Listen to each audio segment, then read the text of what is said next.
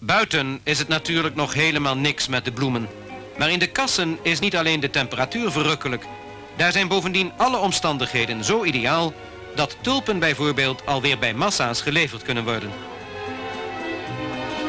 In dit bedrijf in de Bollenstreek worden de tulpen nadat ze uit de grond zijn gehaald van de bol ontdaan en vervolgens in bosjes samengevoegd.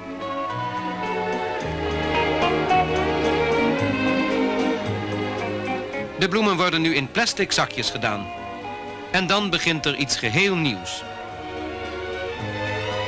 De plastic zakken met bloemen komen bij meisjes die een apparaat bedienen dat de zakjes sluit nadat ze eerst zijn opgeblazen met lucht onder toevoeging van een beetje extra zuurstof.